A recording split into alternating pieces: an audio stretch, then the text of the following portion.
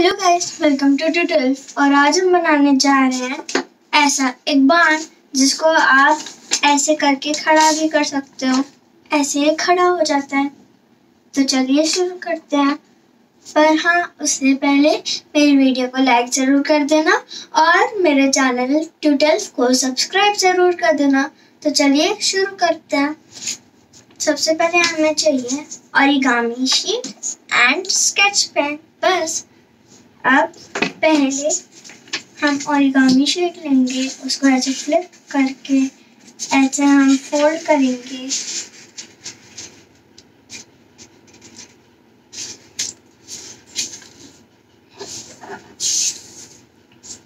अच्छे से। उसके बाद हम इसको खोलेंगे। ये हमारी बीच में ऐसे लाइन बन गई। अब हम इसको ऐसे फोल्ड करेंगे, ताकि हमारा एक प्लस बन जाए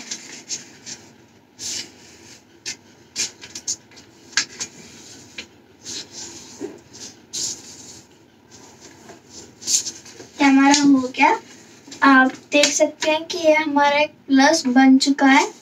अब हम ये एक फ्लैप लेंगे और इसको ऐसे अच्छे से फोल्ड करेंगे। टेढ़ा मेढ़ा नहीं करेंगे, एकदम इक्वली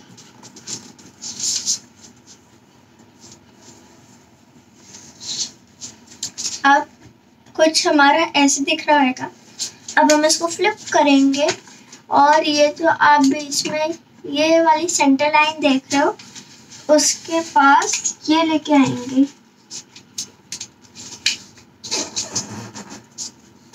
और ऐसे दूसरी साइड से भी करेंगे।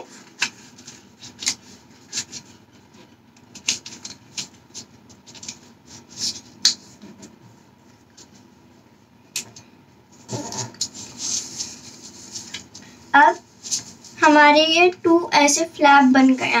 अब ये पहले हम फ्लैप में ऐसे उंगली घुसा के इस सेंटर वाले पोर्शन को ऐसे करेंगे।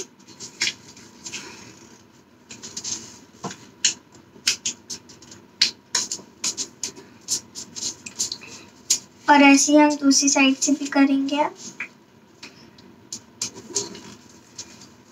ये हमारा एक कुछ ऐसा शर्ट टाइप बन गया।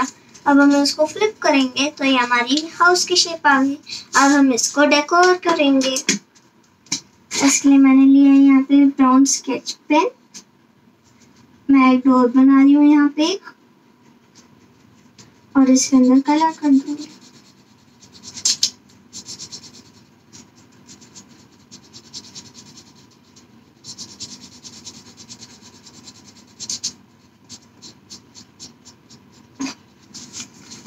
अब मैं यहाँ पे टू विंडोज़ बना देती हूँ।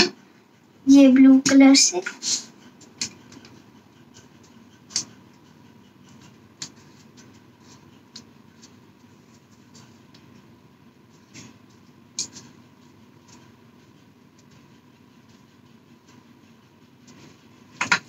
और आप ऊपर भी ऐसे डिजाइन्स बना सकते हो।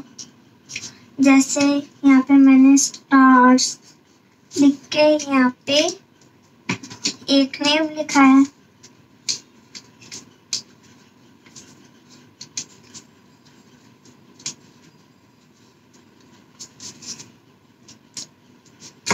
ये हो गया। और अब अगर आपको इसे खड़ा करना है, ये दोनों जो फ्लैप्स हैं हमारी, इसको थोड़ा ऐसे करो और इसको ऐसे खड़ा कर दो। ये हमारा खबर खड़ा भी हो गया और खड़ा होके ऐसे देख लो। कुछ ऐसे दिखाई देता है जब ये खड़े हो जाते हैं। तो guys thanks for watching bye